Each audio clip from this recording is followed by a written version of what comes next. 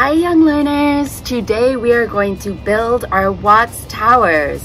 So today I'm going to be building with some stacking cups and I'm going to see how tall and how wide I can build my tower.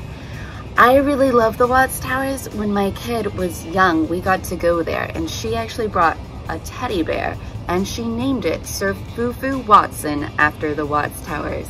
I can't wait to see what you're going to build today. Let's get started.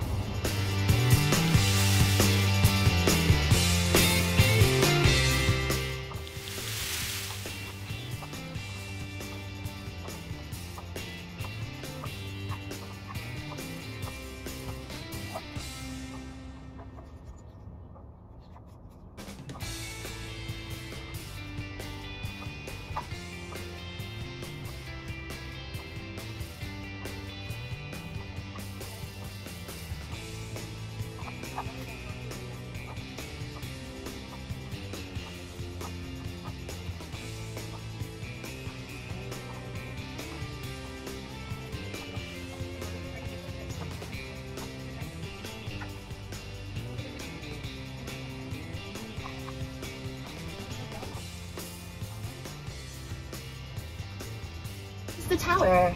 Let's see how tall it is. Is it going to be? It says it's about three feet tall. And about three feet wide at the bottom. Ooh, but at the top it's only about a foot long. So I hope you have fun building your towers and making your own mosaics today.